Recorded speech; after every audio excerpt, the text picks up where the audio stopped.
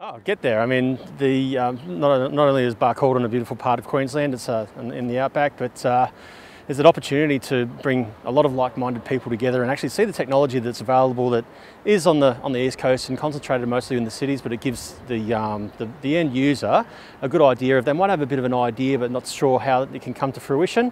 And as companies like IDS who'd be able to help say, well, we have a solution for that and we can tailor it to their particular needs. But um, yeah, absolutely, if, they have the opportunity to get to Barcaldine for this for uh, for Rapid, it'll be fantastic.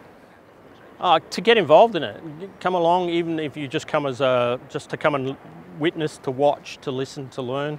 Um, but more importantly, if you've got something to add, come along, put your hand up, and a bit like I'm doing, and saying, you know, here's, here's, here's my ideas, here's what I think.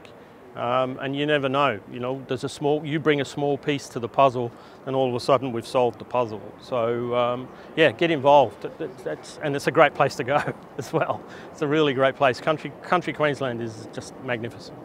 Yeah, I think uh, Pivotal can play a major part in that in terms of providing something back into the, to those remote communities in uh, terms of sponsorship also, in terms of developing the technology uh, with the uh, you know, manufacturers and uh, those providers.